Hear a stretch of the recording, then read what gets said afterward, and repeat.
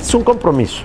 Es decir, se habrá todo el apoyo, impulso, más apoyo a la universidad, siempre y cuando haya más cobertura, mejor calidad, inglés obligatorio en ciertas carreras, obligatorio en ciertas carreras, y sobre todo el que nos ayuden a la currícula educativa de acuerdo a la región, para potenciar la región lo que requiere. ¿Sí hay buena receptividad por parte de la UDG? Fue un compromiso ya hecho. Usted nos lo platicó hace cuatro meses que iban a negociar con UDG justo Ah, en ingenierías. efectivamente. ¿Ya lo negociaron ahí con ellos? Ya, ya, ya está el acuerdo, ahora se está aterrizando en indicadores, es decir, ¿cómo quiero verme yo a seis años cuando salga del gobernador y a la universidad?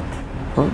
Y cómo ellos también quieren verse, es decir, si hay disposición y voluntad y están cumpliendo con la aspiración del gobierno, pues entonces ellos tendrán también el apoyo para seguir creciendo.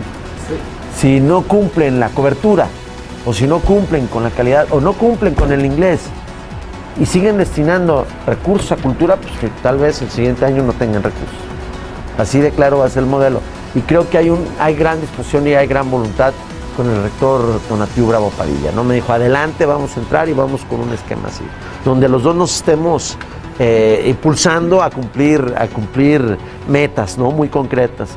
Y que no sea la negociación de año con año que no sea el grupo de interés o de eh, que se esté negociando en el Congreso, sino sea a través de indicadores, a través de cumplir para poder ser primero transparentes, eficientes y que finalmente les sirva a los jóvenes para que se preparen mejor y tengan un mejor empleo cuando salgan de la universidad. A esto vamos. A la demanda, a la oferta de acuerdo a la demanda.